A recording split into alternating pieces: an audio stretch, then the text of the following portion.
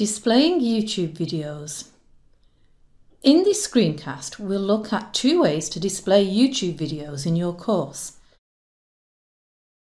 Moodle's Atto text editor has a Moodle Media icon which you can see here, which makes it very simple to display directly in line, that is embed, sound or video files. We're going to embed a YouTube video the process would be the same if we were to, for example, upload and display in line a recording as an MP3 file. We can embed media anywhere we see this text editor, and so we could do it in the course section summary, but instead, what we are going to do is add it to what Moodle calls a label, some white space which you can add anywhere on your course page. This makes the video, a YouTube video or a sound file or your own video display directly when you access the course. However, be aware that if you do this with a lot of media files, it might make your course slower to load and you might prefer to add media to a page resource instead.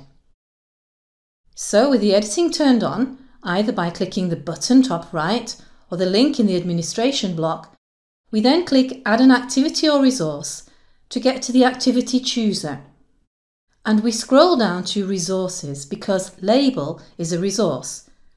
And when we click to add the label, you can see that it's basically just a box with a text editor and when we click the Moodle media icon, we then prompted to browse repositories and go to Moodle's file picker which we've met in a previous video. If we wanted, we could upload a file such as an MP3 or our own video or we could find one in our private files or server files.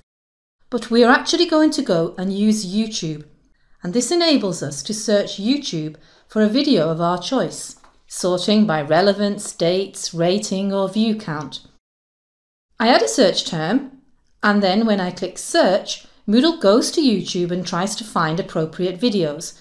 And when I've chosen the one that I want, I simply click on it and select it, Notice that we've done all this without needing to understand any HTML embedding code, so it's very useful if you're not technical.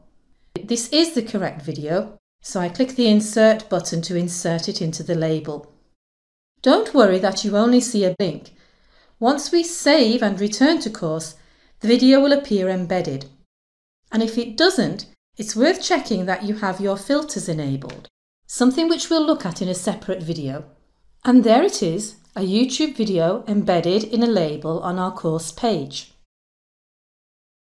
However, if you already have the link of your YouTube video, another way to display it is simply to paste that link, that URL, into the editor.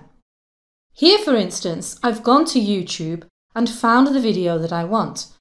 So I click the share link to get its URL, and then I paste it in. And again, as long as the appropriate filters are enabled, once I've saved the page, this link will display as an embedded video.